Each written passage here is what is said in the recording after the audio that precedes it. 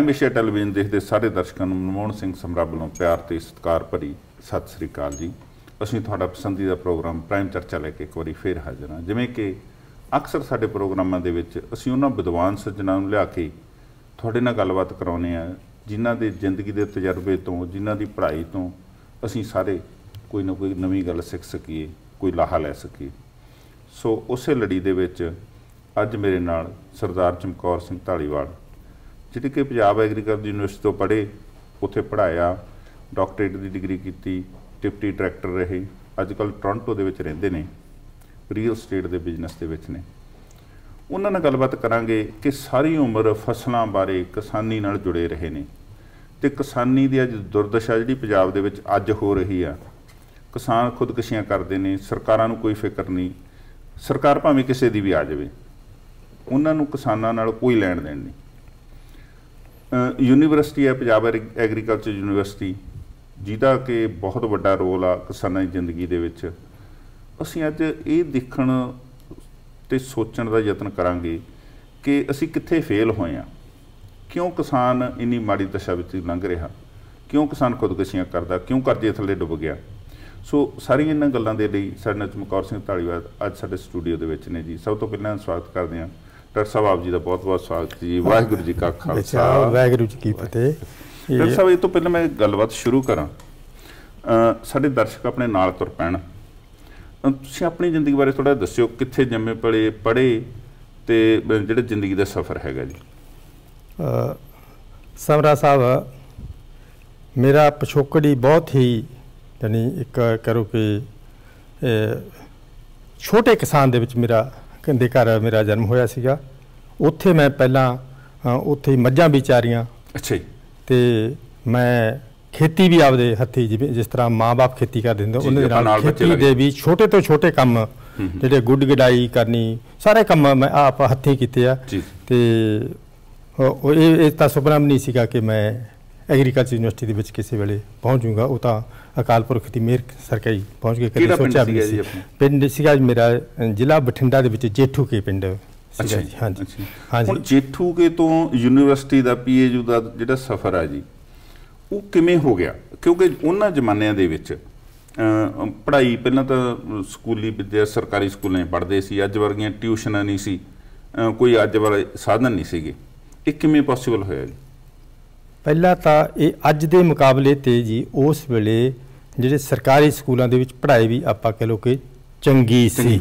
ਬਹੁਤੇ ਜਿਹੜੇ ਜਿੰਨੇ ਸਾਡੇ ਐਗਰੀਕਲਚਰ ਯੂਨੀਵਰਸਿਟੀ ਦੇ ਸਾਇੰਸਦਾਨ ਪਹੁੰਚੇ ਆ ਉਹ ਇਹ ਕਹ ਲੋ ਕਿ 98% ਉਹਨਾਂ ਦੀ ਬੈਕਗ੍ਰਾਉਂਡ ਹੀ ਰੂਰਲ ਸੀ ਪਿੰਡਾਂ 'ਚ ਹੀ ਉੱਠ ਕੇ ਆਏ ਸੀ। ਪਿੰਡਾਂ ਦੇ ਵਿੱਚ ਟੈਲੈਂਟ ਪਹਿਲਾਂ ਵੀ ਸੀਗਾ ਉਦੋਂ ਵੀ ਸੀਗਾ। ਤੇ ਉਸੇ ਕਰਕੇ ਇਹ ਹੈਗਾ ਕਿ ਪਹਿਲਾਂ ਤਾਂ ਇਹ ਸੋਚਿਆ ਨਹੀਂ ਸੀਗਾ ਕਿ ਮੈਂ ਯੂਨੀਵਰਸਿਟੀ ਦੇ ਵਿੱਚ ਜਾਊਂਗਾ ਕਿਉਂਕਿ ਜਦੋਂ ਮੈਟ੍ਰਿਕ ਤੱਕ ਉੱਥੇ ਪੜ੍ਹਾਈ ਕੀਤੀ ਉਥੋਂ ਬਹੁਤ ਚੰਗੇ ਨੰਬਰ ਆ ਗਏ। ਉੱਥੋਂ ਹੀ ਫਿਰ ਗਾਹਾਂ ਦੀ ਗਾਹਾਂ ਕਿਸੇ ਨੇ ਸਲਾਹ ਦਿੱਤੀ ਵੀ ਇਹ ਕਿਉਂਕਿ ਤੁਸੀਂ। ਖੇਤੀ ਆ ਤੇ ਖੇਤੀ ਦੇ ਵਾਸਤੇ ਇੱਕ ਹੋਰ ਵੀ ਸੀਗਾ। ਮੇਰੇ ਵੀ ਇੱਕ ਦਿਮਾਗ ਦੇ ਵਿੱਚ ਇੱਕ ਜਵਾਬ ਆਇਆ ਸੀ ਜਦੋਂ ਮੈਂ ਮੈਂ ਘਰਦਿਆਂ ਦੇ ਨਾਲ ਮਦਦ ਕਰਦਾ ਹੁੰਦਾ ਸੀ ਖੇਤੀ ਦੇ ਵਿੱਚ ਗੁੱਡ ਗੁੱਡ ਗੋਡੀ ਕਰਨੀ। ਪਾਣੀ ਦੇਣਾ ਖੇਤ ਪਾਉਣੀ ਉਹ ਮਤਲਬ ਕਿ ਇੰਨਾ ਕੰਮ ਮੈਂ ਵੀ ਕੀਤਾ ਸੀ ਕਿ ਮੇਰੇ ਉਹ ਵੀ ਉਦੋਂ ਤੱਕ ਦੇ ਵੀ ਮੇਰੇ ਹੱਥਾਂ ਦੇ ਵਿੱਚ ਅਜੇ ਤੱਕ ਵੀ ਆ। 40 ਸਾਲ ਤੱਕ ਵੀ ਦੇ ਅਟਨ ਹੈਗੇ ਆ। ਤੇ ਮੈਂ ਇੱਕ ਜਦੋਂ ਕੰਮ ਕਰ ਰਿਹਾ ਸੀਗਾ ਮੈਂ ਇੱਕ ਕਹਾਵਤ ਸੁਣੀ ਸੀ। ਇੱਕ ਸ਼ਾਹੂ ਇੱਕ ਕਹਾਵਤ ਸੁਣੀ ਸੀ ਕਿ ਵੀ ਵੀ ਇਹ ਕਹਿੰਦਾ ਇੱਕ ਸ਼ਾਹੂਕਾਰ ਕਹਿੰਦਾ ਵੀ ਜੇ ਜੇ ਕਿਤੇ ਜੱਟ ਨਾ ਹੁੰਦਾ ਹੂੰ। ਤਾਂ ਖੇਤੀ ਬੰਦੇ ਨੂੰ ਕਰਨੀ ਪੈਂਦੀ।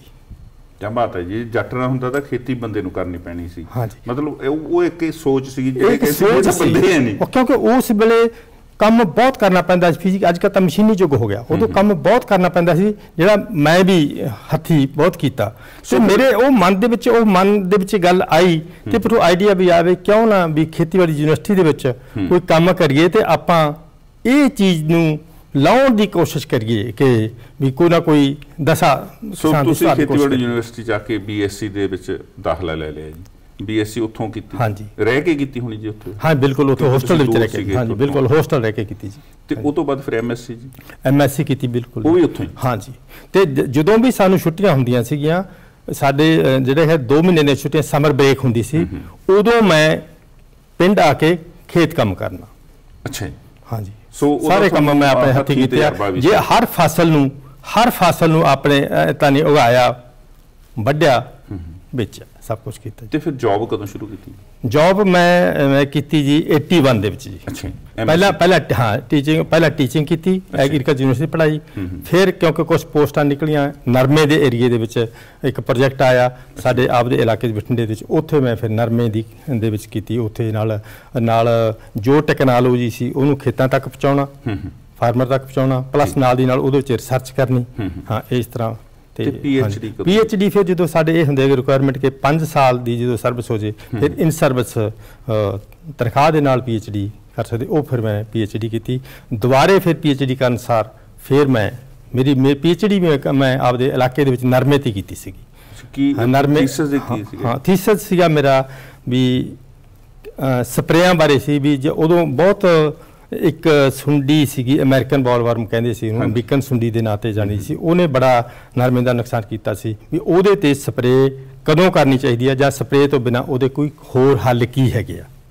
ਉਹਨੂੰ ਇੰਟੈਗ੍ਰੇਟਡ ਪੈਸਟ ਕੰਟਰੋਲ ਉਹਦੇ ਤੇ ਮੇਰਾ ਥੀਸਸ ਸੀ ਤੁਸੀਂ ਪੈਸਟ ਕੰਟਰੋਲ ਦੀ ਗੱਲ ਕੀਤੀ ਅਮਰੀਕਨ ਸੁੰਡੀ ਦੀ ਗੱਲ ਕੀਤੀ ਹੈ। ਹਾਂਜੀ। ਅਮਰੀਕਨ ਸੁੰਡੀ ਜਿੰਨਾ ਕੁ ਮੈਨੂੰ ਪਤਾ ਕਿ ਉਹ ਸ਼ਾਇਦ ਅਮਰੀਕਾ ਦੇ ਵਿੱਚ ਸਭ ਤੋਂ ਪਹਿਲਾਂ ਡਾਇਗਨੋਸ ਹੋਈ ਸੀਗੀ ਫੜੀ ਗਈ ਸੀ ਉੱਥੋਂ ਦਾ ਨਾਂ ਪੈ ਗਿਆ। ਪਰ ਹਿੰਦੁਸਤਾਨ ਕਿਵੇਂ ਪਹੁੰਚ ਗਈ ਜੀ? ਕਿਵੇਂ ਵੀ ਨਹੀਂ ਉਹ ਇੱਕ ਐਕਚੁਅਲੀ ਅਮਰੀਕਾ ਦੇ ਵਿੱਚ ਤਾਂ ਉਹ ਪਹਿਲੀ ਵਾਰੀ ਆਇਡੈਂਟੀਫਾਈ ਹੋਈ ਸੀ। ਸੀ ਉਹ ਸਾਰੀ ਦੁਨੀਆ ਦੇ ਵਿੱਚ ਇਹ ਇਕੱਲੀ ਨਰਮੇ ਕਪਾਹ ਤੇ ਨਹੀਂ ਸੀ ਬਾਕੀ ਫਸਲਾਂ ਤੇ ਵੀ ਬਹੁਤ ਸੀਗੀ। ਉਹ ਤਾਂ ਜਦੋਂ ਪੈਸਟੀਸਾਈਡ ਦਾ ਜ਼ਿਆਦਾ ਇਨਸੈਕਟੀਸਾਈਡ ਦਾ ਕੀੜੇਮਾਰ ਦਵਾਈਆਂ ਦਾ ਕੁਝ ਦੁਰਉਪਯੋਗ ਹੋ ਗਿਆ। ਆਪਾਂ ਇਹ ਕਹ ਲਓ ਉਸ ਵੇਲੇ ਉਹ- ਉਹਦੇ ਜਿਹੜੇ ਮਿੱਤਰ ਕੀੜੇ ਮਰ ਗਏ। ਦੁਰਉਪਯੋਗ ਹੋਇਆ ਕੀੜੇਮਾਰ ਦਵਾਈਆਂ ਦਾ। ਉਹ ਤੋਂ ਫਿਰ ਉਹ ਇੱਕ ਛੋਟੇ ਕੀੜੇ ਤੋਂ ਵੱਡਾ ਕੀੜਾ ਬਣ ਗਿਆ। ਜਿਹਨੇ ਕਿ ਤਕਰੀਬਨ ਇੱਕ ਵਾਰੀ ਤਾਂ ਜਿਹੜੀ ਕਾਟਨ ਬੈਲਟ ਦੇ ਵਿੱਚੋਂ ਜਿਹੜੀ ਕਾਟਨ ਖਤਮ ਕਰਤੀ ਸੀ। ਹੁਣ ਜੇ ਅਹ, ਕੀੜੇ ਮਾਰ ਦਵਾਈਆਂ ਦੀ ਗੱਲ ਕਰਦੇ ਹਾਂ ਜੀ ਆਪਾਂ ਕਿਉਂਕਿ ਕਿਤੋਂ ਨਾ ਕਿਤੋਂ ਆਪਾਂ ਗੱਲ ਹੁਣ ਸ਼ੁਰੂ ਕਰੀਏ ਆਪਣੇ। ਟੌਪਿਕ ਦੀ। ਕੀੜੇ ਮਾਰ ਦਵਾਈਆਂ ਇੱਕ ਦੋਸ਼ ਲੱਗ ਰਿਹਾ ਜੀ ਐਗਰੀਕਲਚਰ ਯੂਨੀਵਰਸਿਟੀ ਤੇ ਵੀ ਤੇ ਸਾਡੀ ਜਿਹੜੀ ਹਰੀ ਕ੍ਰਾਂਤੀ ਸੀ ਉਹਦੇ ਤੇ ਵੀ। ਕਿ ਇਹਨਾਂ ਨੇ ਇੰਨੀਆਂ ਦਵਾਈਆਂ ਪਵਾ ਕੇ ਝਾੜ ਵਧਾਉਣ ਦੇ ਚੱਕਰ ਦੇ ਵਿੱਚ ਜ਼ਹਿਰ ਪਾਤੀ ਜ਼ਮੀਨ ਦੇ ਵਿੱਚ ਜ਼ਹਿਰੀਲੀ ਧਰਤੀ ਕਰਤੀ। ਕੈਂਸਰ ਵਰਗੇ ਰੋਗ ਫੈਲ ਗਏ ਗੰਗਾ ਨਗਰ ਵਾਲੀ ਟ੍ਰੇਨ ਚੱਲ ਪਈ ਉਹ ਬਠਿੰਡੇ ਦੇ ਇਲਾਕੇ ਦੇ ਵਿੱਚੋਂ। ਘਰ ਘਰ ਦੇ ਵਿੱਚ। ਕੈਂਸਰ ਦੀ ਬਿਮਾਰੀ ਆ ਗਈ। ਕਿੰਨੀ ਕੁ ਸੱਚਾਈ ਹੈ ਇਹਦੇ ਵਿੱਚ ਜੀ? ਸਮਰਾ ਸਾਹਿਬ ਪੰਜਾਬ ਖੇਤੀਬਾੜੀ ਯੂਨੀਵਰਸਿਟੀ 1962 ਦੇ ਵਿੱਚ ਹੋਣ ਤੇ ਆਈ। ਜੀ।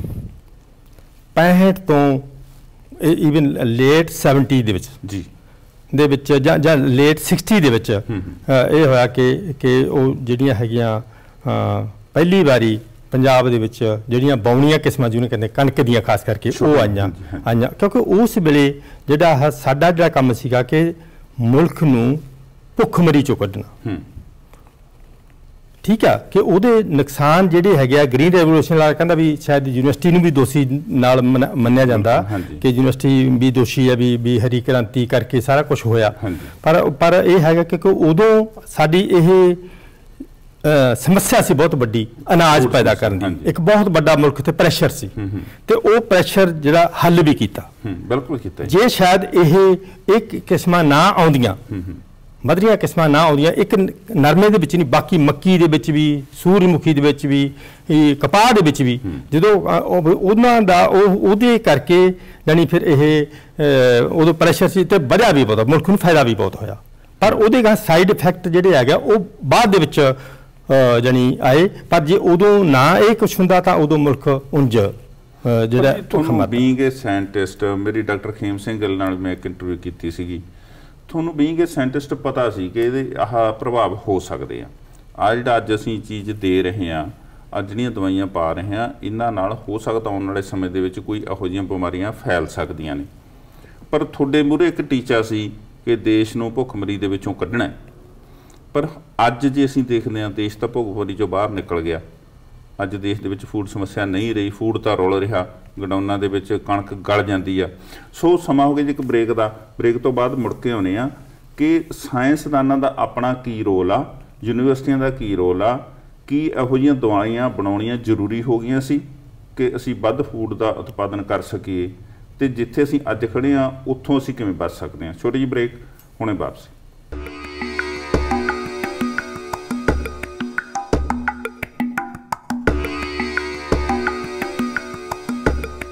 ਇਸ ਤੋਂ ਬਾਅਦ ਇੱਕ ਵਾਰ ਆਪ ਜੀ ਦਾ ਫਿਰ ਸਵਾਗਤ ਹੈ ਜੀ। ਡਾਕਟਰ ਸਾਹਿਬ, ਜਿਵੇਂ ਤੁਸੀਂ ਦੱਸਿਆ ਕਿ ਉਹ ਦਵਾਈਆਂ ਦਾ ਤੁਹਾਨੂੰ ਬੀਇੰਗ ਸਾਇੰਟਿਸਟ ਸ਼ਾਇਦ ਪਤਾ ਹੀ ਸੀ ਕਿ ਫਿਊਚਰ ਦੇ ਵਿੱਚ ਇਹੋ ਜਿਹੇ ਰਿਜ਼ਲਟ ਨਿਕਲ ਸਕਦੇ ਆ। ਇਹ ਦਵਾਈਆਂ ਡੇਂਜਰਸ ਹੈਗੀਆਂ ਨੇ। ਫਿਰ ਯੂਨੀਵਰਸਿਟੀ ਦਾ ਇਹ ਵੀ ਫਰਜ਼ ਬਣਦਾ ਸੀ ਕਿ ਜੱਟਾਂ ਨੂੰ ਦੱਸਦੇ ਵੀ ਤੁਸੀਂ ਕਿਵੇਂ ਪਾਉਣੀ ਆ ਦਵਾਈ, ਕਿੰਨੀ ਕੁ ਪਾਉਣੀ ਆ ਉਹਦੀ ਮਕਦਾਰ, ਉਹਦੇ ਤਰੀਕੇ ਮਾਸਕ ਲਾਉਣਾ। ਮੈਂ ਜੱਟਾਂ ਨੂੰ ਦੇਖਿਆ ਕਿ ਥਿਮਟ ਦੀ ਸਪਰੇਅ ਝੋਨੇ ਤੇ ਉਹ, ਛਿੜਕਦੇ ਥਿਮਟ। ਨੰਗੀਆਂ ਲੱਤਾਂ ਨਾਲ। ਉਹ ਜਿਹੜੇ ਤਿੱਖੇ ਪੱਤੇ ਹੁੰਦੇ ਆ ਉਹ ਤੁਹਾਡੇ ਚੀਰੇ ਦੇ ਜਾਂਦੇ ਆ ਤੇ ਉਹਦੇ ਵਿੱਚ ਸਿੱਧੀ ਥਿਮਟ ਤੁਹਾਡੇ ਬਲੱਡ ਚਲੀ ਜਾਂਦੀ ਹੈ ਸਮਰਾ ਸਾਹਿਬ ਯੂਨੀਵਰਸਿਟੀ ਦਾ ਕੰਮ ਹੈ ਖੋਜ ਕਰਨਾ। ਜੀ। ਫਿਰ ਉਹ ਖੋਜ ਨੂੰ ਯੂਨੀਵਰਸਿਟੀ ਨੇ ਮਹਿਕਮਾ ਖੇਤੀਬਾੜੀ ਪੰਜਾਬ ਹੂੰ ਹੂੰ। ਤੇ ਕਿਸਾਨਾਂ ਨੇ ਮਿਲ ਕੇ ਉਹਨਾਂ ਨੂੰ ਇੰਪਲੀਮੈਂਟ ਕਰਨਾ। ਉਹਨੂੰ ਲਾਗੂ ਕਰਨਾ ਹਾਂਜੀ ਹਾਂਜੀ। ਅੱਛਾ ਇਹਦੇ ਵਿੱਚ ਵੀ ਕਿਤੇ ਇਹ ਹੈਗਾ ਵੀ ਅਸੀਂ ਸਾਡੇ ਹਿਸਾਬ ਨਾਲ ਜੇ ਉਹ ਪੂਰੀ ਤਰ੍ਹਾਂ ਇੰਪਲੀਮੈਂਟ ਨਹੀਂ ਹੁੰਦੀਆਂ ਫਾਰਮਰ ਫਿਰ ਵੀ ਗਲਤੀ ਕਰਦੇ ਆ ਕਿਉਂਕਿ ਉਹਦੇ ਵਿੱਚ ਇੱਕ ਕਾਰਪੋਰੇਟ ਸੈਕਸ਼ਨ ਆ ਗਿਆ। ਅੱਛਾ ਉਹਦੇ ਵਿੱਚ ਦੁਕਾਨਦਾਰ ਆ ਗਏ। ਉਹ ਕਈ ਵਾਰੀ ਇਸ ਤਰ੍ਹਾਂ ਦਾ ਉਹ ਕਿਉਂਕਿ ਉਹਨਾਂ ਨੇ ਦੁਕਾਨਦਾਰਾਂ ਨੇ ਸਭ ਤੋਂ ਉਹਨਾਂ ਦੀ ਗਾਈਡੈਂਸ ਸਾਡੀ ਗਾਈਡੈਂਸ ਤੇ ਭਾਰੂ ਹੋ ਜਾਂਦੀ ਹੈ। ਕਿਉਂਕਿ ਜਦੋਂ ਜ਼ਿਮੀਦਾਰ ਕੋਲੇ ਕਿਸਾਨਾਂ ਕੋਲ ਪੈਸਾ ਨਹੀਂ ਹੁੰਦਾ ਉਹਨੇ ਉਧਾਰ ਚੱਕਣੀ ਆ ਉਹ ਜਿਹੜੀ ਵੀ ਉਹ ਮਾਤਰਾ ਦੱਸਣੀ ਆ ਜਿਹੜੀ ਉਹ ਦੱਸਣ ਕਿ ਵੀ ਰეკਮੈਂਡੇਸ਼ਨ ਤੋਂ ਪਰੇ ਵੀ ਚਲੀ ਜਾਂਦੀ ਆ ਜ਼ਿਆਦਾ ਜ਼ਿਆਦਾ ਅਜੇ ਤੱਕ ਵੀ ਫਾਰਮਰ ਜ਼ਿਆਦਾ ਦੁਕਾਨਦਾਰ ਨੂੰ ਪੁੱਛਦਾ ਕਿਹੜੀ ਸਪਰੇ ਕਰੀਏ ਜੀ? ਕਿੰਨੀ ਕਰੀਏ ਜੀ? ਉਹ ਆਪਦੇ ਮੁਨਾਫੇ ਦੇ ਨਾਲ ਉਹ ਕਈ ਰეკਮੈਂਡੇਸ਼ਨਾਂ ਨੂੰ ਪਾਸੇ ਚਲੀਆਂ ਜਾਂਦੀਆਂ। ਤੇ ਇਸ ਤਰ੍ਹਾਂ ਦੇ ਨਾਲ ਜਿਹੜਾ ਹੈਗਾ ਇੱਕ ਵਾਰੀ ਇਹ ਜਿੱਥੋਂ ਤੱਕ ਜਿਹੜਾ ਹੈਗਾ ਨਾ ਤੁਸੀਂ ਜੀ ਗੱਲ ਕੀਤੀ ਵੀ ਇਹਦਾ ਨੁਕਸਾਨ ਤੁਹਾਨੂੰ ਪਤਾ ਸੀ ਇਹ ਕਈ ਵਾਰੀ ਨਹੀਂ ਵੀ ਪਤਾ ਲੱਗਦਾ। ਮੈਂ ਤੁਹਾਨੂੰ ਇਹਦੀ ਇੱਕ ਉਦਾਹਰਨ ਦਿੰਦਾ। ਜੀ। ਜਿਸ ਵੇਲੇ ਡੀਡੀਟੀ ਨਿਕਲੀ ਸੀ ਉਹ ਮੱਛਰ ਵਾਸਤੇ ਨਿਕਲੀ ਸੀ। ਹਾਂਜੀ। ਉਹ ਡੀਡੀ ਪਾਲ ਮੂਲਰ ਨਾਂ ਦੇ ਸਾਇੰਸਦਾਨ ਨੇ ਕੱਢੀ ਸੀ। ਅੱਛਾ। ਔਰ ਉਸ ਨੂੰ ਉਹ ਬਹੁਤ ਹੀ ਮਕਬੂਲ ਹੋਈ। ਐਕਚੁਅਲੀ ਮੱਛਰ ਵਾਸਤੇ ਜਿਵੇਂ ਮਿਲਟਰੀ ਵਗੈਰਾ ਦੇ ਵਿੱਚ ਕੱਢੀ ਸੀ ਵਾਸਤੇ ਕੱਢੀ ਗਈ ਸੀ। ਉਦੋਂ ਬਾਅਦ ਉਹਦਾ ਫਸਲਾਂ ਤੇ ਵੀ ਬਹੁਤ ਯੂਜ ਬਹੁਤ ਵੱਡੇ ਪੱਧਰ ਤੇ ਉਹਦਾ ਵਰਤੋਂ ਹੋਈ। ਪਰ ਕਾਫੀ ਸਾਲਾਂ ਬਾਅਦ ਉਸ ਪਾਲ ਮੂਲਰ ਨੂੰ ਡਾਕਟਰ ਪਾਲ ਮੂਲਰ ਨੂੰ ਨੋਬਲ ਪ੍ਰਾਈਜ਼ ਮਿਲਿਆ ਸੀ। ਉਸ ਵੇਲੇ ਡੀਡੀਟੀ ਦੀ ਖੋਜ ਕਰਨ ਵਾਸਤੇ। ਪਰ ਜੇ ਆਪਾਂ ਲੌਂਗ ਟਾਈਮ ਬਹੁਤ ਦੇਰ ਬਾਅਦ ਦੇਖੀਏ ਤਾਂ ਅੱਜ ਕੱਲ ਇਹ ਲੱਗਦਾ ਵੀ ਕਿ ਕਿ ਵੀ ਡਾਕਟਰ ਪਾਲ ਮੂਲਰ ਨੇ ਗਲਤੀ ਕੀਤੀ ਸੀ। ਕਿਉਂ? ਕਿਉਂਕਿ ਗਲਤੀ ਨਹੀਂ ਕਿਉਂਕਿ ਉਹ ਬਾਅਦ ਚ ਪਤਾ ਲੱਗਦਾ ਨਾ ਡੀਡੀਟੀ ਦਾ ਤੇ ਬੀਐਸਸੀ ਦਾ ਬਹੁਤ ਵੱਡੇ ਪੱਧਰ ਤੇ ਮਿਸਯੂਜ਼ ਹੋਇਆ ਓਵਰਡੋਜ਼ ਹੋਈ। ਵੱਧ ਵਰਤੋਂ ਵਿੱਚ ਵਰਤੀ ਗਈ ਜਿੰਨਾ ਜਿਹੜੇ ਥਾਵਾਂ ਤੇ ਨਹੀਂ ਸਪਰੇਅ ਕੀਤੀ ਗਈ ਸੀ ਉੱਥੇ ਸਪਰੇਅ ਕੀਤੀ ਉਹਦੇ ਵਰਤਣ ਵੇਲੇ ਅਣਗਹਿਲੀਆਂ ਕੀਤੀਆਂ ਗਈਆਂ ਉਹ ਦਾਣਿਆਂ ਦੇ ਵਿੱਚ ਮਿਲਾਈ ਗਈ ਹਾਲਾਂਕਿ ਉਹਨੂੰ ਟੱਚ ਨਹੀਂ ਕਰਨਾ ਚਾਹੀਦਾ ਸੀ। ਆਮ ਜੀ ਕਣਕ ਚ ਮਿਲਾ ਦਿੰਦੇ ਕਣਕ ਦੇ ਵਿੱਚ ਮਿਲਾ ਦਿੰਦੇ ਸੀ। ਇਸ ਤਰ੍ਹਾਂ ਦੀਆਂ ਇਹ ਤਾਂ ਰਿਕਮੈਂਡੇਸ਼ਨ ਹੈ ਨਹੀਂ ਸੀ ਯੂਨੀਵਰਸਿਟੀ ਦੀ। ਹੈ ਇਸ ਤਰ੍ਹਾਂ ਬਹੁਤ ਫਸਲਾਂ ਤੇ ਸਬਜ਼ੀਆਂ ਤੇ ਉਹਦੀ ਅਸੀਂ ਨਹੀਂ ਸੀ ਰਿਕਮੈਂਡੇਸ਼ਨ ਦਿੱਤੀ। ਸਬਜ਼ੀਆਂ ਤੇ ਸਬਜ਼ੀਆਂ ਧੋ ਧੋ ਕੇ ਉਹ ਵੇਚੀਆਂ ਗਈਆਂ। ਵੀ ਇਸ ਦੇ ਨਾਲ ਉਹ ਇੱਕ ਡੀਡੀਟੀ ਦਾ ਜਾਂ ਬੀਐਸਸੀ ਦਾ ਇਹ ਸਭ ਤੋਂ ਵੱਡਾ ਔਗਣ ਆ ਕਿ ਉਹ ਆਪਣੇ ਜੇ ਇੱਕ ਵਾਰੀ ਆਪਣੇ ਬਲੱਡ ਦੇ ਵਿੱਚ ਚਲੀ ਗਈ ਤਾਂ ਉਹ ਨਿਕਲਦੀ ਨਹੀਂ। ਉਹ ਗਾਹ ਆਪਣੇ ਬੱਚਿਆਂ ਦੇ ਵਿੱਚ ਗਾਹ ਬੱਚਿਆਂ ਦੇ ਅੱਗੇ ਕਈ 20 ਜਨਰੇਸ਼ਨਾਂ ਤੱਕ ਤੁਰੀ ਜਾਂਦੀ ਆ। ਉਹਦਾ ਅੱਜ ਉਹ ਸਾਰੀ ਦੁਨੀਆ ਦੇ ਵਿੱਚ ਬੈਨ ਕਰਨੀ ਪਈ। ਇੱਕ ਪਾਸੇ ਉਸ ਕੈਮੀਕਲ ਨੂੰ ਨੋਬਲ ਪ੍ਰਾਈਜ਼ ਮਿਲਿਆ ਸੀ। ਫਿਰ ਉਹ ਬਾਅਦ ਦੇ ਵਿੱਚ ਉਹਦੇ ਇਫੈਕਟ ਆਏ ਕਿ ਉਹ ਬੈਨ ਕਰਨੀ ਪਈ। ਵੀ ਇਸ ਤਰ੍ਹਾਂ ਦੇ ਨਾਲ ਫਾਇਦਿਆਂ ਦੇ ਬਾਅਦ ਚ ਵੀ ਨੁਕਸਾਨ ਹੁੰਦੇ ਜਿਵੇਂ ਫਾਰ ਐਗਜ਼ਾਮਪਲ ਅਸੀਂ ਜਦੋਂ ਵੱਧ ਝਾੜ ਲੈਣਾ। ਯੂਨੀਵਰਸਿਟੀ ਦਾ ਫਸਲਾਂ ਵੱਧ ਪੈਦਾ ਕਰਨੀਆਂ ਜ਼ਿਆਦਾ ਫਸਲਾਂ ਇੰਟਰੋਡਿਊਸ ਕਰਨੀਆਂ ਹਾਈ ਜੀਲਡ ਵੈਰਾਈਟੀਆਂ ਉਹਨਾਂ ਵਾਸਤੇ ਆਪਾਂ ਨੂੰ ਜ਼ਿਆਦਾ ਖਾਦਾਂ ਪਾਉਣੀਆਂ ਪੈਣਗੀਆਂ। ਆਪਾਂ ਨੂੰ ਮਸ਼ੀਨਰੀ ਆਧੁਨਿਕ ਵਰਤਣੀ ਪਊ।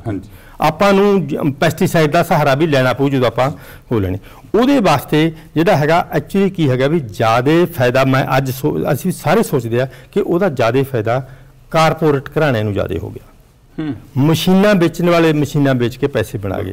ਪੈਸਟੀਸਾਈਡ ਇੰਡਸਟਰੀ ਵੇਚਣ ਵਾਲੇ ਬਹੁਤ ਪੈਸੇ ਬਣਾ ਗਏ। ਖਾਦਾਂ ਵੇਚਣ ਵਾਲੇ ਬਹੁਤ ਪੈਸੇ ਬਣਾ ਗਏ। ਬਣਾਉਣ ਵਾਲੇ ਵੀ ਵੇਚਣ ਵਾਲੇ। ਪਰ ਜ਼ਿਮੀਂਦਾਰ ਨੂੰ ਸਮ ਉਸ ਚੀਜ਼ ਦਾ ਘਾਟੇ ਪਿਆ ਜ਼ਿਆਦਾ ਕਰਜ਼ੇ ਥੱਲੇ। ਆ। ਆ ਗਿਆ। ਪਾ- ਪਾ- ਬਾਅਦ ਤਾਂ ਹਾਂ ਜੇ ਆਪਾਂ ਕਹੀਏ ਵੀ ਵੀ ਪ੍ਰੋਡਕਸ਼ਨ ਬਹੁਤ ਹੋਈ। ਅੱਜ ਵੀ ਬਹੁਤ ਪ੍ਰੋਡਕਸ਼ਨ ਹੋ ਰਹੀ ਹੈ ਅੱਜ ਵੀ ਲੋੜ ਆ ਅਜੇ ਵੀ ਲੋੜ ਆ। ਅੱਛਾ ਜੀ। ਅੱਜ ਅਜੇ ਵੀ ਬਹੁਤ ਲੋੜ ਆ ਕਿਉਂਕਿ ਅਜੇ ਵੀ ਜੇ ਆਪਾਂ ਕਹਿੰਦੇ ਹਾਂ ਕਿ ਪੰਜਾਬ ਦੇ ਵਿੱਚ ਕਣਕ ਝੋਨਾ ਬਹੁਤ ਹੋ ਰਿਹਾ ਠੀਕ ਆ ਬਹੁਤ ਹੋ ਰਿਹਾ। ਜੇ ਅੱਜ ਵੀ ਪ੍ਰੋਡਕਸ਼ਨ ਬੰਦ ਕਰ ਦਈਏ ਤਾਂ ਮੁਲਕ ਵਾਸਤੇ ਅਜੇ ਵੀ ਉਹਨਾਂ ਨਹੀਂ ਹੈਗਾ। ਅਜੇ ਵੀ ਆਪਾਂ ਹਾਲਾਂਕਿ ਦੂਜੇ ਸੂਬੇ ਵੀ ਬਹੁਤ ਕਣਕ ਪੈਦਾ ਕਰਨ ਲੱਗੇ। ਹਾਂ ਆਪਣੇ ਪਹਿਲਾਂ ਨਹੀਂ ਸੀ ਹੁੰਦੀ। ਆਪਾਂ ਪਹਿਲਾਂ ਕਣਕ 70% ਦਿੰਦਾ ਰਿਹਾ ਪੰਜਾਬ। ਜੀ ਜੀ। ਹੁਣ ਵੀ 38 40% ਆਪਾਂ ਸੈਂਟਰਲ ਪੂਲ ਦੇ ਵਿੱਚ ਦੇ ਰਹੇ ਹਾਂ। ਅੱਛਾ। ਝੋਨਾ 60% ਆਪਾਂ ਸੈਂਟਰ ਪੂਲ ਦੇ ਵਿੱਚ ਦੇ ਰਹੇ ਹਾਂ। ਜੇ ਕਿਤੇ ਪੰਜਾਬ ਇੱਕ ਸਾਲ ਵੀ ਝੋਨਾ ਨਾ ਪੈਦਾ ਕਰੇ ਨਾ ਤਾਂ ਵੀ ਫਿਰ ਆਪਾਂ ਨੂੰ ਆ। ਬਹੁਤ ਸਮੱਸਿਆ ਫੂਡ ਦੀ ਸਮੱਸਿਆ ਆ ਨਹੀਂ ਸਕਦੀ ਆਊਗੀ। ਅੱਛਾ ਜੀ। ਹੁਣ ਜਿਹੜੀ ਕਿਸਾਨੀ ਦੀ ਮਾੜੀ ਦਸ਼ਾ ਜੀ ਖੁਦਕੁਸ਼ੀਆਂ ਕਰਦਾ ਕਿਸਾਨ ਉਹਦੇ ਲਈ ਤੁਹਾਨੂੰ ਬੀਇੰਗ ਅ ਸਾਇੰਟਿਸਟ ਤੁਹਾਨੂੰ ਕੀ ਲੱਗਦਾ ਵੀ ਕੌਣ ਜ਼ਿੰਮੇਵਾਰ ਹੈ ਕਿਸਾਨ ਆਪ ਯੂਨੀਵਰਸਿਟੀਆਂ ਜਾਂ ਸਰਕਾਰਾਂ? ਦੇਖੋ ਜਿੱਥੋਂ ਤੱਕ ਕਿਸਾਨ ਦਾ ਸਵਾਲ ਆ ਜੇ ਆਪਾਂ ਯੂਨੀਵਰਸਿਟੀ ਦੀਆਂ ਸਿਫਾਰਸ਼ਾਂ ਜਾਂ ਸਾਇੰਸਦਾਨਾਂ ਦੀਆਂ ਸਿਫਾਰਸ਼ਾਂ ਲਾਗੂ ਕਰਨ ਦੇ ਵਿੱਚ ਆਪਣਾ ਪੰਜਾਬ ਦਾ ਕਿਸਾਨ ਸਾਰੇ ਭਾਰਤ ਦੇ ਵਿੱਚੋਂ ਮੂਹਰੀ ਹੈ। ਅੱਛਾ ਹਾਂਜੀ। ਅਗਰੈਸਿਵਲੀ ਅਗਰੈਸਿਵਲੀ ਫਾਲੋ ਕਰਦਾ।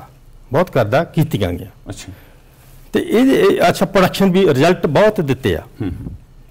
ਹੁਣ ਆਪਣੇ ਇੱਕ ਵੱਡੀ ਸਮੱਸਿਆ ਜਿਹੜੀ ਸਹਾਇਕ ਫਸਲਾਂ ਵੀ ਕਿਸਾਨਾਂ ਨੇ ਬੀਜ ਕੇ ਵੇਖੀਆਂ।